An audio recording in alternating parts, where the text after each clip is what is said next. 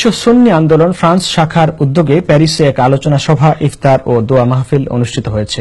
আমাদের ফ্রান্স প্রতিনিধি নয়ন মামুন জানান, সংগঠনের আহ্বায়ক শাহ এনামুল হাসান মাওলার সভাপতিত্বে ও সাইফুল আলম সবুজের পরিচালনায় অনুষ্ঠিত আলোচনা সভায় বক্তব্য রাখেন গোলাম মোস্তফা হিমেল, মামুনুর রশিদ, জামিল আবেদ, শরিয়ত উল্লাহ, রিয়াজাত হুসাইন, শাকাওয়াত হুসাইন প্রমুখ।